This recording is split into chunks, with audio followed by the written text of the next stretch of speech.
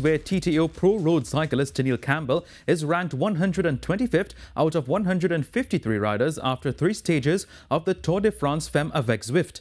On Sunday, the Team Jayco AlUla rider finished the 123.8 kilometer Clermont-Ferrand first stage 125th in 3 hours 13.00 seconds. The riders climbed for most of 151.7 kilometers, stage 2 from Clermont-Ferrand to Mauriac.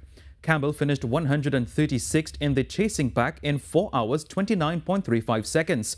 Today, she got in her groove, finishing stage 3 102nd in 3 hours 49.49 seconds. She's currently ranked 125th overall and her team 19th.